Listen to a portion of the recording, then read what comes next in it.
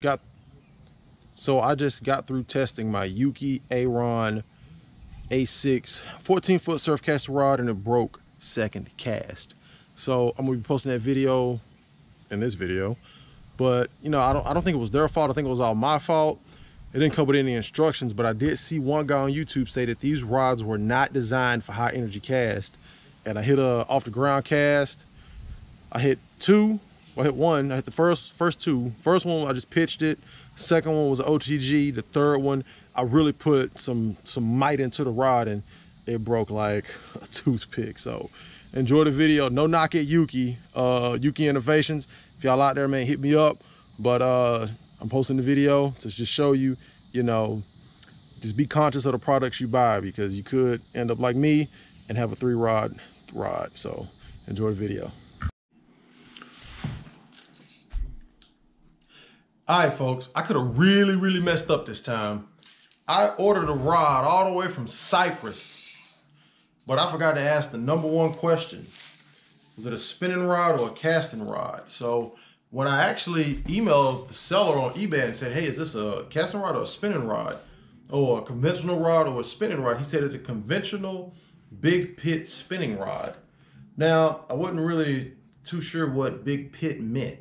Those are those spinning reels, tall, fat, wide spool. So when I bought the rod, I looked at the guides on eBay and I said, hey, self, those guys look like casting guides.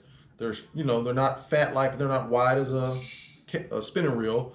They're real short, and I was like, okay, this has got to be a casting rod. So uh, I bought it, but I asked the question after I bought it.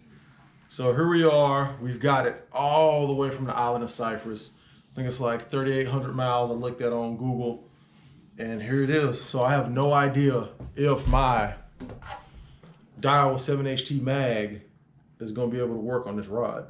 Now, if the guides are just good enough to where they look like they can pass for casting and the line's not sitting up too high on the rod, I'm gonna go with it. So the rod is a Yuki A6 rod. The model's A6. This company, Yuki, is pretty big over in Europe. So this is a 14 foot three piece rod. I know a lot of people are gonna start crying right now. Eh, three piece rod suck. Nah, nah, nah. That's fine. Hey, I was I bought this rod because I was looking for a tournament rod on a budget. Granted, I'm not in a club or anything like that. I just wanted a rod I can just go out and have fun with my tournament reel in and not have to pay $400, $500, however much for a custom tournament rod. So without further ado, let's get to the unboxing.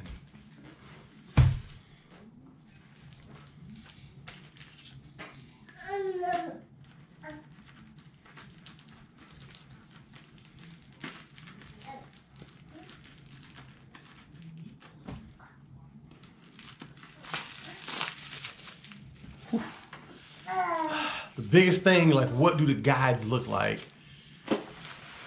Oh, it comes in a bag. Ooh. So this rod was 100 US dollars. So I'm trying to fill out the guides right now. This The first one doesn't seem too spinning-ish. Let's see what let's see what Yuki's working with. Now, I can't tell if this has been sitting on a shelf for a while, but it looks like it's got a little wear and tear on it.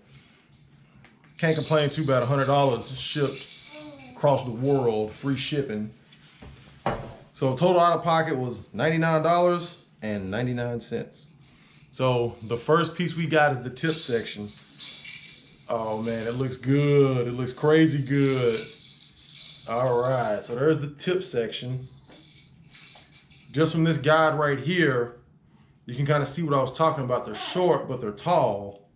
So, I mean, that's not too reminiscent of a spinning reel guide.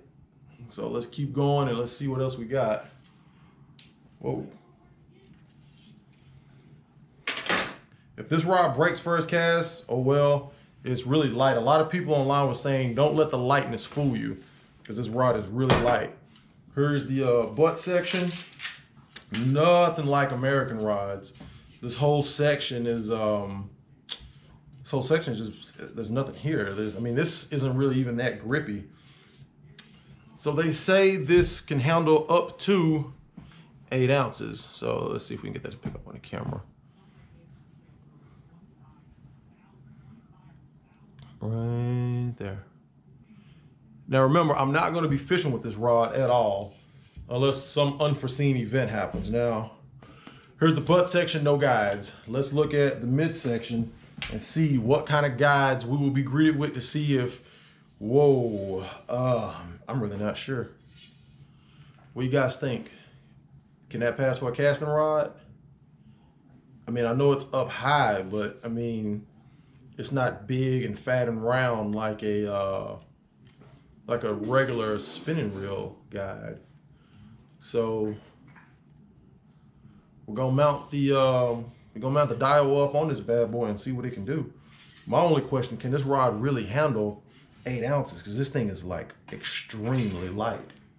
How about I uh, turn it the right way? All right, so now that looks a little better. I don't think any of my other surf casting rods have a guide that sits up that high. I'll definitely go look at my Prevail and my 13 foot breakaway to see. So the way this is made, it's supposed to be made like this since now I know that it is actually a spinning rod. Like I say, we'll see if we can pass it off as a casting rod. I turned it on, huh?